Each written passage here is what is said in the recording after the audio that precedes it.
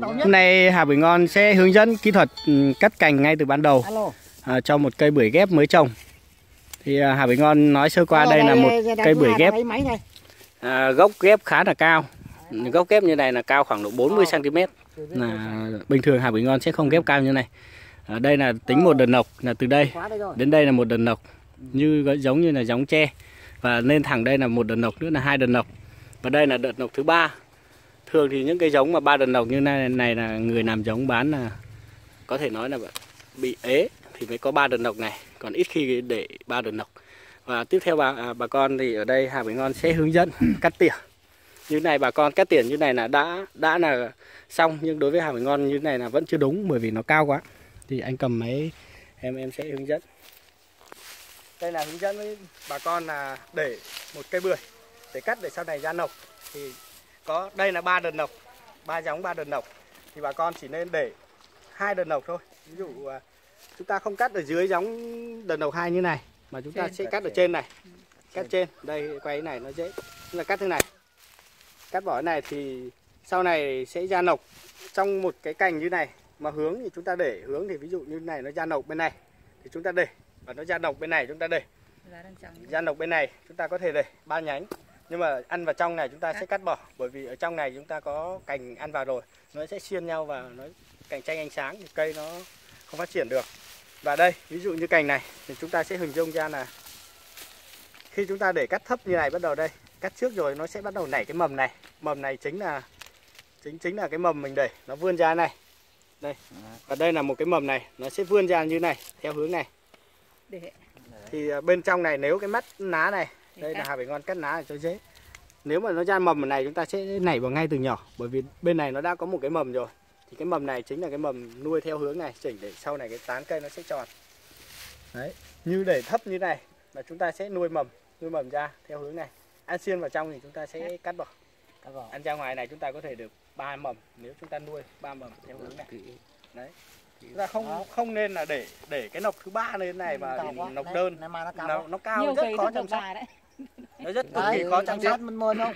Hôm nọ tao là cắt cao nhất. Cắt có tí Nè. nữa. Ừ. bởi vì cây ấy, là nó khi nó lớn lên và nó cao cái gốc này lên chúng ta không sợ là ở dưới ở dưới đây mà thấp hoặc chúng ta khó đưa máy bởi vì cái cây bưởi ghép này ấy, nó còn đẩy gốc lên rất là cao mà cao quá là khi chúng ta thu hoạch quả xong cắt tỉa tạo tán thì bắc thang rất là khổ rất là rất vất mà nó sẽ tăng công lên tăng công lao động công lao động càng gốc ngày này sẽ nó ghép cao nhỉ gốc cao gốc này ghép cao bình thường nó chỉ ghép khoảng 30 Hai phân lăm 25 phân thôi. 25 tuần đấy.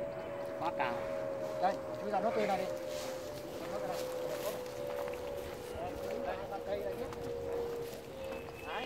Cây này là lên thành bốn lần độc độc này độc thứ tư rồi. Đây ví dụ như này. Chúng ta sẽ cây cao lắm. đây chúng ta bởi vì nếu chúng ta cứ để này nó sẽ cứ cứ thế nó nuôi lên lộc nó thành cái cây gần như cây bưởi dại. Chúng ta cắt bỏ cái này đấy thì sau này hướng thì nó cái hướng ví dụ đây nhá hướng là cắt một cái ná là sau này sẽ để mầm theo hướng đây cái À, này có lá thì nó toàn nó không không Không. phải đây là cái ná là coi như là Để mình hướng. một cái mầm sau Đấy. Làm sao để cho mình Đấy. nhìn thấy rõ. đây này Ừ. ăn ra và cái ná này ăn ra cái lá cắt. cái còn lá nó ăn vào trong này nó nó xiên hai cành nó xiên vào nhau này nó sẽ cạnh tranh ánh sáng Cắt bỏ. cắt bỏ còn cái này hai chẽ còn cái này này cái chẽ này này nó nó mình hạ xuống thấp này này để cho cái cây nó nó tròn Vâng. Chứ mình không không nên bằng nhau. đấy mình để như này thì sau này nó sẽ mọc mầm và mình nó mọc rất nhiều mầm luôn là chúng ta sẽ sẽ tỉa theo cái hướng mình Mình Cây muốn. mình muốn Mình muốn. đấy nó lên rất nhiều mầm Không, luôn tạo tán là là anh tạm tạm biết. Đấy, phải hướng dẫn cái này là biết. còn từ giờ đổ đi là khi mình mình giữ ẩm cho cây này khi mà bắt đầu nó nhú nọc lên nó dài khoảng 1 đến 2 cm này là chúng ta sẽ phải phun sâu vết bùa. Sâu vết bùa mà ra mùa xuân ấy đây này sâu vết bùa nó nó gắn gắn gắn như này. Đấy. Thì chúng ta giữ được cái ná thì nó sẽ quang hợp tốt và cây nó nhanh phát triển và nó to. Và hai nữa là ra mùa xuân bắt đầu nó vừa có sâu vết bùa vừa có nhện đỏ chúng ta sẽ phun nhện đỏ.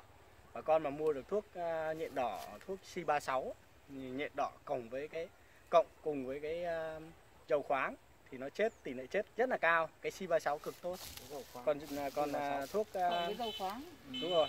Còn à, nếu mà à, cái sâu vết bùa này nó dễ chết có thể đánh bằng à, Syngenta à, của thụy sĩ thì nó nó có rất nhiều cái dòng thuốc. Ví dụ như là à, cái thằng Megacell của lúa vàng này thằng à, cái thuốc gì mà không không nhớ tên này của của Sigenta Thụy Sĩ mà đánh đánh mùi nó rất là mùi. Và Emasin đánh cũng được. Nói chung hoạt chất của nó là không không nhớ được vì không không học tiếng Anh nên không nhớ được. Chỉ có giới thiệu cho bà con bằng hình ảnh thì nhớ. Nhưng nhưng mà Nó liệu chẹp như thế là nó mùi giả lắm. dễ thử chú? Sạch giòn mùi cầy như thế này là từ hôm trồng đến giờ điện này là nó giả dễ thử. Cây này bắt đầu nhú dễ rồi. Bây giờ mà có bới lên thì bắt đầu có dễ trắng rồi. Nó bắt bắt đầu ra dễ rồi. Coi là không chột trước gì cứ không này trột như thế này vô tư luôn. Là được rồi